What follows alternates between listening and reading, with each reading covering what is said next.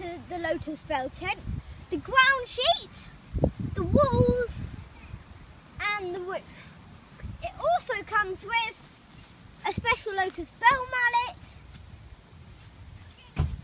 poles for the middle and the bottom and pegs.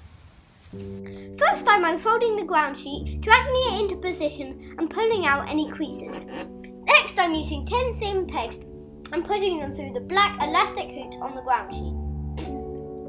Now I need to put in all the thicker pegs that the main guy lines will attach to. I'm using one of the three centre pole sections to measure the correct distance from the edge of the ground sheet. That tells me where to put the first peg. Then the second peg goes in a further mannet's length out, so two pegs in line with each of the ten pegs around the ground sheet. Next I am dragging the banana bag containing the wall section onto the ground sheet so the walls don't get dirty. Once it's out of the bag, I am hooking the small canvas tabs at the base of each curved wall pole onto the pegs around the ground sheet.